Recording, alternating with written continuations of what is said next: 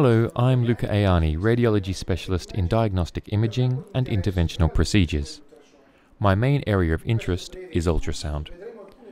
In this short overview, we will look at some diagnostic modes offered by ultrasound that allow us not just to obtain information about the dimensions, morphology, and structure of lesions that are identified during examinations, but also to obtain information about the macro and microcirculatory vascularization of these lesions, as well as to find out about the stiffness elasticity characteristics of the tissues.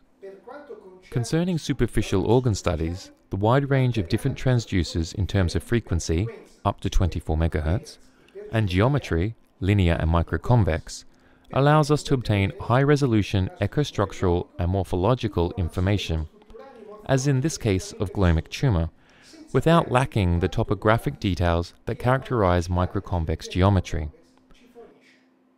Color Doppler and similar modules, such as MicroV, demonstrate how anechoic gaps within the lesion are actually of basal nature, confirming the hypervascular nature of this type of lesion.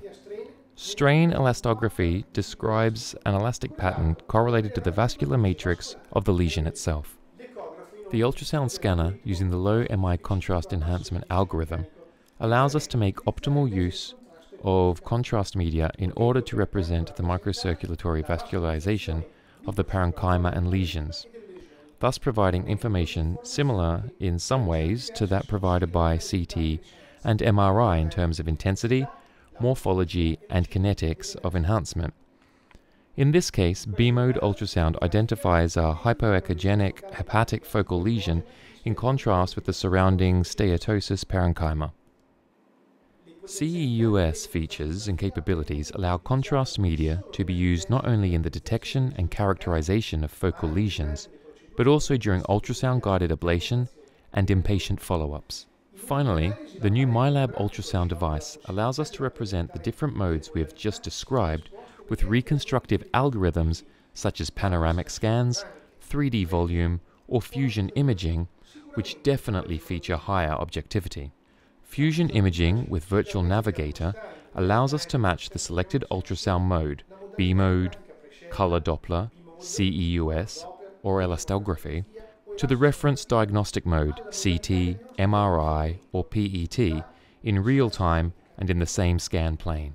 An emerging application field for fusion imaging is the prostate, where the goal is to perform an ultrasound guided prostate biopsy with all the advantages that this method brings, targeted to the area of interest identified by MRI image fusion in multiparametric series such as T2, diffusion, and contrast media together with real-time ultrasound. Ultrasound, with its different acquisition modules, is therefore intended as a multi-parametric diagnostic method and is increasingly approaching the capabilities of other methods such as CT and MRI, which are no longer perceived in a competitive way. The integration of information provided by different imaging modes increases the diagnostic power of the single modality.